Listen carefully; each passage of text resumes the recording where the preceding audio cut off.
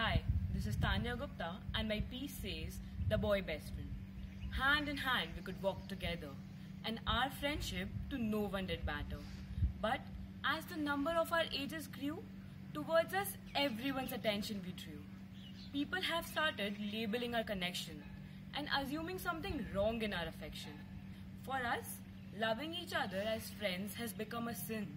And in the woe of spoiling our friendship, people are engaged in.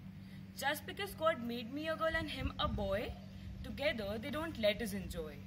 Since we have a difference in our genders, people have started considering us as offenders. Whenever they see us talking, we find them in a grimacing way mocking. Even in a co ed school, misconceptions people have about us, and I still fail to understand what problem our friendship to them does. Dear people, I request you to keep away from us your orthodox thinking because we find them really stinking, and I promise that none of you will be able to take us apart because we are true best friends from the core of our heart.